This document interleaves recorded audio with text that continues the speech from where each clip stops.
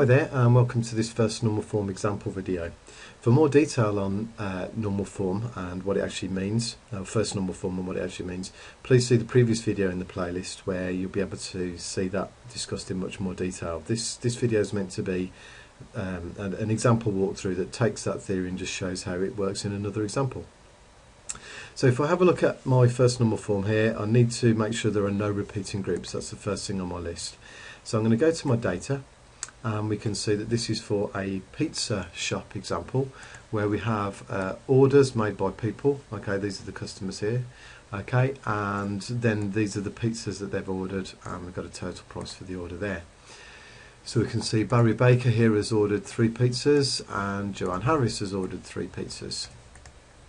So we're going to well actually more than that because there's different quantity but three different types of pizza let's say Right, so let's have a quick look at how that might work. So if I take one of these records, the Barry Baker record, okay, and put it into this example here. Now what I've done there is I've taken each of the types of pizza that they've ordered and I've made it into one record. So that's how it, it should be in a table, is in one record. But we can see when I do that, okay, that we end up with a set of repeating attributes. Okay, we've got pizza code, pizza name, quantity and price here as one set so let's just uh, highlight those in one particular colour. Okay and we've got the same going on over here. Okay and let's do a different colour for those. Okay and we've got another one going on here. And obviously we can see that if that was to work we'd end up with, you know, depending on how many different types of pizza we order, we can end up with a huge great big table. So either way, we can see that we have a repeating set of attributes, pizza code, pizza name, quantity and price. And these are the ones that we're going to remove. So we go to our normalization here, okay, and we're going to put these across. So we say, right, so uh, the order number, the dates, customer ID, all of these things were okay. So we're going to copy these and I'm going to paste those as values into there and then also the total price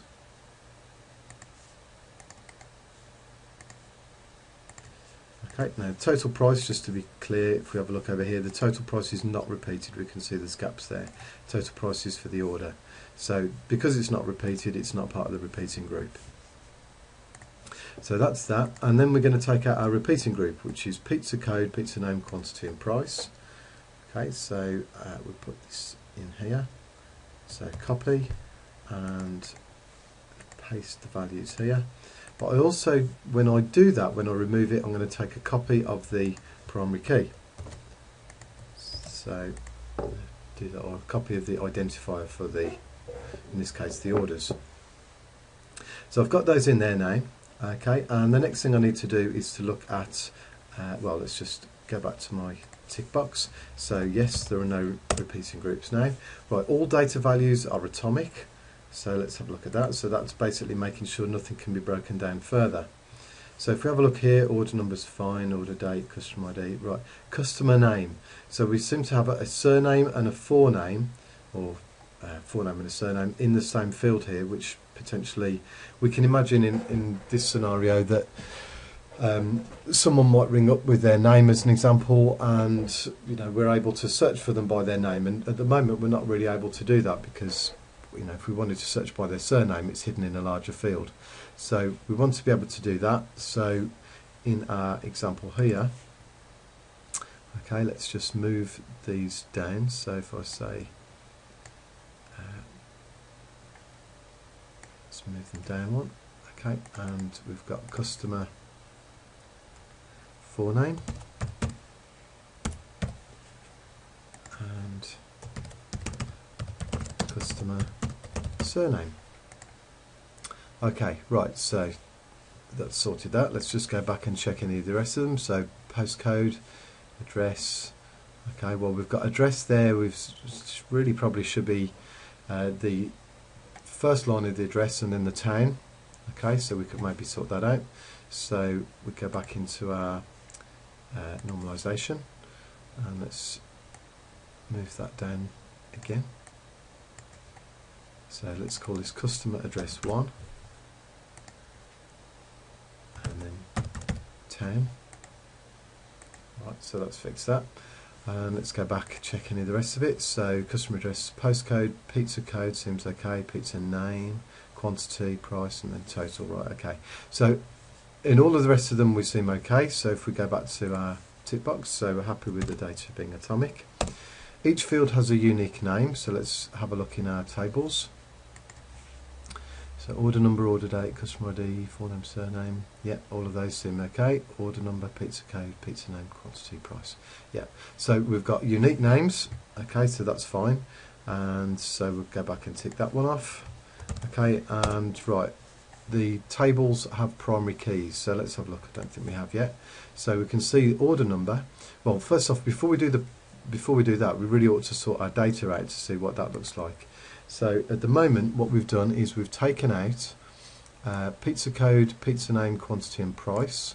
So if I take that out and put it into a different table there, okay, and we need to do that with uh, a copy of the primary key. So if I copy that and paste it there, uh, move it up one.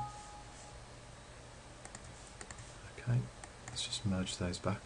uh, there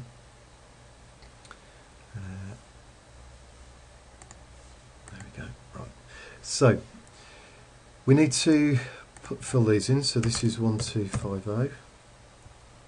Oh. One two five zero.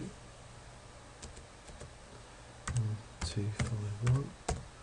One two five one. Okay, and we can get rid of. Well, let's just move this back over here. Okay, and we can get rid of the gaps now in our data. Right, so we can we can now see what our tables are actually looking like. So I'm going to want order number here to be my primary key for this table. So back in my normalization, I'm going to make that my primary key.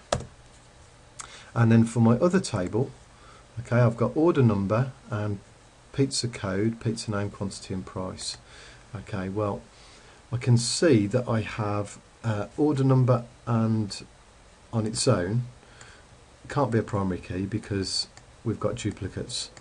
Okay, and same with pizza code because I have duplicate two people have ordered the same pizza there, which sort of makes sense. Okay, so but we can see that my order number and pizza code together as a pair okay, are going to be unique, okay, because we, if I did want, let's say on order number 1250, I wanted another meat feast, then I would just add one to the quantity, so it would never be repeated as a record. So in this situation, I'm able to, to do that. So these two fields together become my primary key.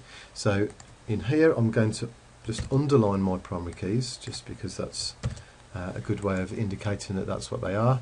Okay, and back in my normalization, I've got order number, okay, and pizza code together make my primary key. So I've now completed first normal form.